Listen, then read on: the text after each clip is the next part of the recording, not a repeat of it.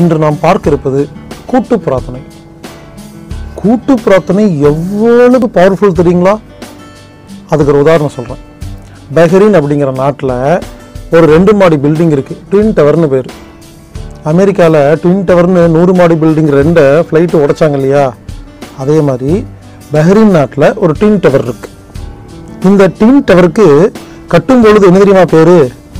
Zero accident திட்டம். Zero accident project அதாவது அந்த பில்டிங் கட்டுறதுக்கு முன்னால் ஒரு முடிவு எடுத்தாங்களாமா? இதுக்கு ஜீரோ ஆக்சிடென்ட் திட்டம்னு பேர் வச்சுக்கிட்டு இந்த பில்டிங் கட்டி முடிக்கிற வரைக்கும் ஒரு ஆக்சிடெண்ட் இல்லாமல் கட்டுறதுன்னு முடிவு எடுத்தாங்களாமா? நல்லா கேவனிங்க. சீக்ரெட்னு ஒரு படம் இருக்குது இதை பார்த்துருக்கணும். பார்த்தாவே இப்போ நான் பேசுகிறது புரியும். அதாவது நல்ல வார்த்தை வேறு கெட்ட வார்த்தை வேறு.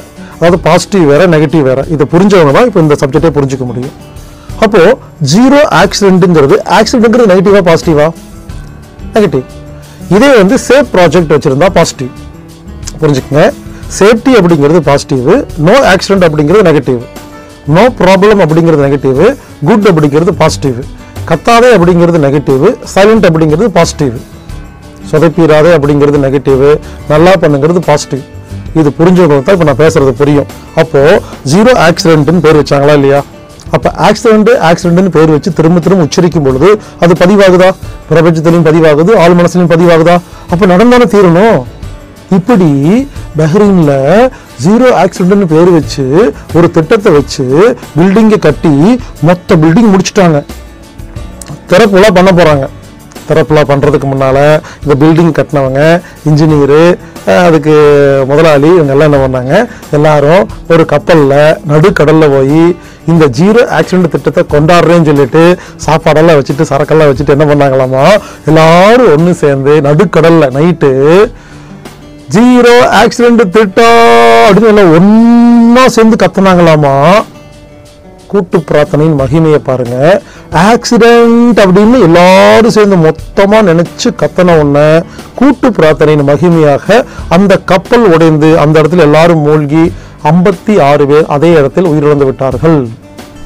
அதாவது இந்த பிரபஞ்சத்துக்கு நல்லதுக்கும் கெட்டதுக்கு வித்தியாசமெல்லாம் தெரியாது.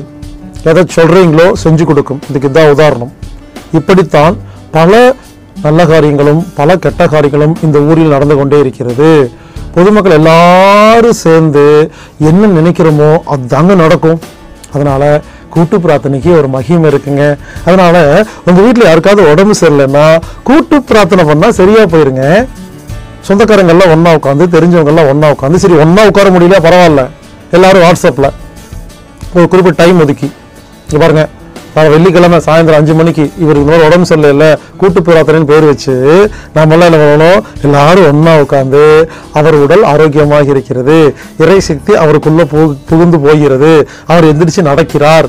அவர் நூற்றி நாற்பது வருடம் நிம்மதியாக வாழ்கிறார்னு நமக்கு எப்படி எப்படிலாம் வேணுமோ எல்லாத்தையும் சேர்ந்து எல்லாரும் சேர்ந்து கூட்டு பிரார்த்தனை பண்ணால் அவருக்கு உசுறு வந்துடும் எல்லாம் குணமாயிருங்க.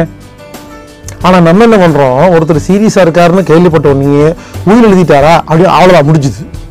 ஆமாம் உங்கள் ஃபோக்கஸ் எல்லாம் உயிலுக்கு போச்சுன்னா அதுக்குள்ள அப்பா படுத்து கிடப்பாரு. இவங்க ரெண்டு ரே தம்பி அந்த வீடு எனக்கு ஏய், இந்த இடம் எனக்கு சண்டை போட்டிருந்தா? அப்புறம் என்ன ஆகும்? கூட்டு பிரார்த்தனையில அவ்வளோதான் கூட்டு பிரார்த்தனையில் அப்பா செத்து போனால் எப்படின்னு யோசிச்சாச்சு. அப்புறம் நடந்தானே தீரும்? புரிந்து கொள்ளுங்கள். கூட்டு பிரார்த்தனைக்கு மிகப்பெரிய வலிமை இருக்குங்க. அதனால் யாருக்காவது நோய் வந்தால் கூட்டு பிரார்த்தனை செய்வேங்க. இங்கே பாருங்க கூட்டு பிரார்த்தனை ரொம்ப கேர்ஃபுல்லாக பண்ணணும். கூட்டு பிரார்த்தனையில் எல்லாரும் உட்காந்துட்டு அவரது உசுருக்கு எந்த ஆபத்தும் வரக்கூடாதுன்னு சொன்னீங்கன்னா ஆபத்து வந்துடும் ஆமாம் ஆபத்துங்கிற வார்த்தை நெகட்டிவ் தானே. அவர் உயிர் பாதுகாப்பாக இருக்கிறது. அவர் பலவரிடம் நிம்மதியாக வாழ்கிறார். நீங்கள் பாருங்க கூட்டு பிரார்த்தனை முக்கியம் இல்லை. பல நேரத்தில் கூட்டு பிரார்த்தனை பண்ணி நெகட்டிவாக போயிருக்கு. ஏன்னா நம்ம பேசுறது நெகட்டிவ் ஆயிரும். எல்லாரும் ஒன்றா உட்காந்துட்டு சர்க்கரை வியாதி குணமாகும்னு கூட்டு பிரார்த்தனை பண்ணிங்கன்னா சர்க்கரை வியாதி அதிகம்தான் ஆகும். எல்லாரும் ஒன்றா உட்காந்துக்கிட்டு அவர் உசுறு போகவே சக்குன்னு போயிடும் உசுறு போகக்கூடாதுங்கிறது நெகட்டிவ் உசுறு இருக்கணுங்கிறது பாசிட்டிவ் கூட்டு பிரார்த்தனை செய்யும்போது ரொம்ப கேர்ஃபுல்லாக இருக்கணும். நல்ல வார்த்தை மட்டும்தான் பேசணும். நான் சொன்னேன் இல்லையா?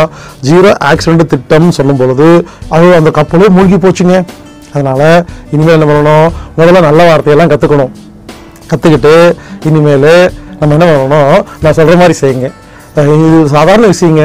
எல்லாரும் என்ன பண்ணுங்க உங்கள் வீட்டில் ஒரு விஸ்டிக்கர் அடிங்க.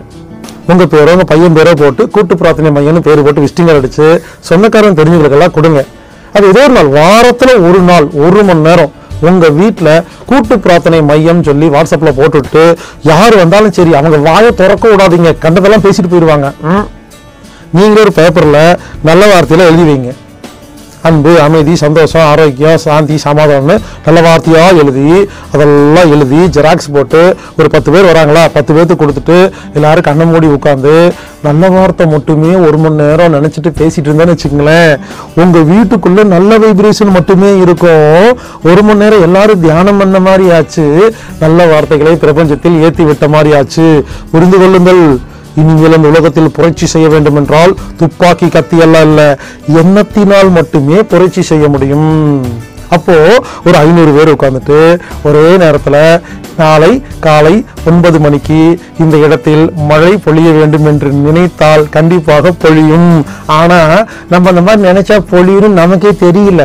நம்பலையா? முதல்ல நம்பணும் அதுக்கப்புறம் கேட்கணும் அதுக்கப்புறம் நடக்கும். நம்புறதும் இல்லை கேட்கறதும் இல்லை நடக்கிறது இல்லை செய்து பாருங்கள் ஆச்சரியமாக இருக்கும். எனவே நம்ம எல்லாரும் ஒன்று சேர்ந்து இனிமேல் என்ன வேணுமோ கவர்மெண்ட்டுக்கிட்டேயோ இல்லை வேறு யார்கிட்டயோ யார்கிட்டையும் கேட்க வேண்டாங்க. நம்மலாம் நிறைய பேர் ஒன்று சேர்ந்து நமக்கு என்ன வேணுமோ ஈஸியாக நினச்சா நடந்துருங்க. அதனால் சில டைலாக் சொல்கிறேன் நோட் பண்ணி வச்சுக்கோங்க. இதெல்லாம் நல்ல வார்த்தைகள். நான் அப்படிதாங்க. எப்பெல்லாம் ஃப்ரீயாக இருக்கிறனோ இந்த ஊர் கட்டு போச்சு அப்படி ஆயிடுச்சு இப்படி ஆச்சு சொல்ல மாட்டேங்க. நல்ல வார்த்தை மட்டும் தாங்க சொல்லுவேன். நான் என்ன சொல்கிறேன் தெரியுமா? நாங்கள் இங்க பாருங்க. எப்பெல்லாம் எனக்கு நேரம் இருக்குதோ கண்ணை மூடி உட்காந்து செழிக்கட்டும் விவசாயம் சீர்படட்டும் நிர்வாகம் உலக மக்கள் முகங்களில் நிலவட்டும் புன்சிரிப்பு வளர்க ஆன்மீகம் வாழ்க வாழ்வாங்கு. இது போன்ற நல்ல வார்த்தையெல்லாம் சொல்லுவாங்க. இன்னும் நிறைய இருக்குங்க. நீங்களே சொந்தமாக எழுதலாங்க. உடல் நலம் நீலாயில் நிறை செல்வம் உயர்ப்புகள் மெஞ்ஞானம் பெற்று ஓங்கி வாழ்க வளமுடன் வாழ்க வளமுடன். பாருங்க நல்ல வார்த்தை மட்டும்தான் இருக்குதுல்ல. இதே மாதிரி நிறைய இருக்குதுங்க. நானே கருணை நானே சமாதானம் நானே அனைத்தையும் குணப்படுத்தும் தன்மை நானே அன்பு நானே இவையெல்லாம் நிரம்பிய மிக மிக தெய்வீக சக்தி வாய்ந்த ஒரு அழகிய மாமனிதன். இந்த மாதிரி நீங்க சொந்தமா நல்ல வார்த்தையெல்லாம் எழுதி எல்லாரும் ஒன்று சேர்ந்து கூட்டு பிரார்த்தனை செய்வோம். யாராவது நோயாக இருந்தால் குணப்படுத்துவோம் மழை வேண்டாம் வாங்கிக்குவோம் குடும்பம் பணம் வசதி எல்லாத்துக்குங்க. கூட்டு பிரார்த்தனையை தவிர வேறு ஒன்றுமே சிறந்த தீர்வு இல்லைங்க. எனவே கூட்டு பிரார்த்தனை மகிமையை தெரிந்து கொண்டு நாம் கூட்டு பிரார்த்தனை செய்து நமக்கு வேண்டியதை நாம் இந்த உலகத்தில் விதைப்போமாக. செழிக்கட்டும் விவசாயம் சீர்படட்டும் நிர்வாகம்.